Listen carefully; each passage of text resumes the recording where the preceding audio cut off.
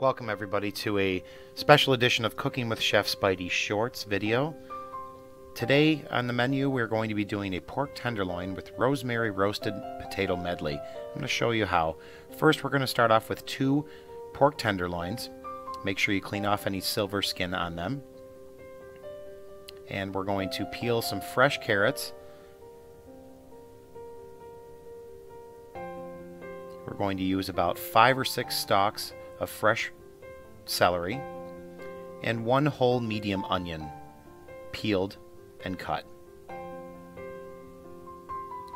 And we're also going to be using a mixture of baby medley potatoes. First, we're going to take the potatoes and put some really nice rosemary infused uh, oil. We're going to mix that up on a pan with some pinch and some rosemary then we're going to take the carrots and we're going to cut them into about a quarter inch on the bias. We're also going to do the same thing with the celery, only making them about an inch long each. Then we're going to take the onions, we're going to slice them into larger pieces. We're going to put those all off to the side. Mix them all together into a nice pot.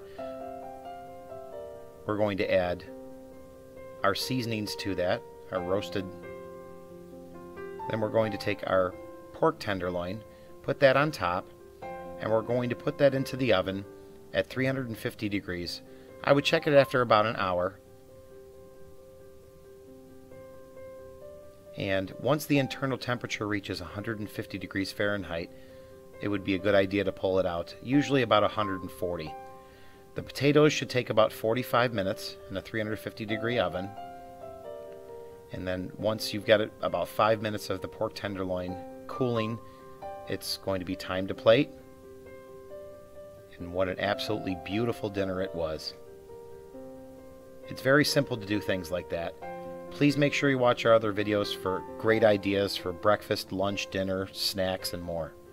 Thanks again for watching another episode of Cooking with Chef Spidey.